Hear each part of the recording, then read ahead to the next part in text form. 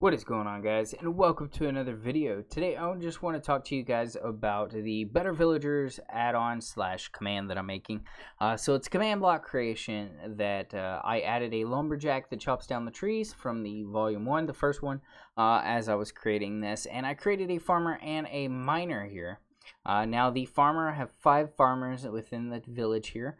Uh, they will search any kind of uh, pig entity and teleport it to the pig if it's within a certain radius of that farmer. So uh, they will al always be teleported to this spawn, which will allow me to create a butcher, which will then get the meat and everything. So the way that I want this to work is when you create a pin, and you have a gate and you throw a piece of wheat on top of the gate, it will place a armor stand on top of a stone brick uh, valued at 5. So then it will then be able to test for where the pigs and stuff can go to uh, when they're near the villagers. Now, that's that. Uh, now I gotta create uh, some chests inside of one of the houses that the villagers can place down and all the meat and all the farm animals and uh, their drops. And of course, when the miner mines, the same thing will happen.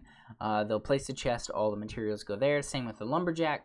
Uh, I'm creating these, but I wanted to ask you guys what do you think I should add? How do you think I should add these? What are you guys' opinion? Because this is not just something I'm going to build, but this is something that I'm going to take your suggestions and I'm going to add it into the video.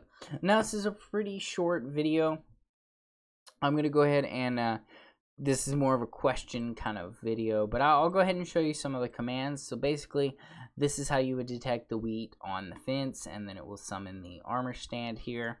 Uh, and then when that happens, it'll kill the wheat. Uh, the same thing with the pickaxe over here.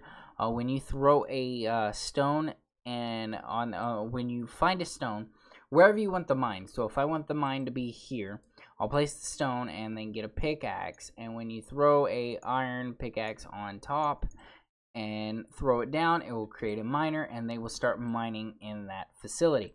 Uh, and that's how you create a mine. That's where the villagers do all that stuff. And then the materials will go back to the village, uh, which you, as a player, will be able to gather. Uh, so that's how that works. It will uh, do all of that. It'll summon the armor stand, just like everything that needs the hopper, the chest, everything will be here. Uh, and then it does the uh, makes the armor stands invisible. It will execute and do for the miner villager. It'll do a field command, which is basically destroying, uh, creating a mining effect. But that is that is pretty much it. And this is the uh, one that will um, teleport, uh, like say a pig here, uh, to the armor stand that's detected at stone brick. Uh, that's how that stuff works. Uh, but yeah, if you guys have any suggestions, you have any kind of certain villagers that I think I should you should add, like maybe a fisherman. of course, I need to add a butcher. Um, I need to add a more advanced blacksmith, a more advanced uh, crop farmer. Now, the farmer farmer is for the animals, uh, but there's going to be two different kinds of farmers. Uh, would but anything, anything that you guys think should be added to this creation. Uh, so this is not more of a tutorial, it's more of a question video. Sorry about that.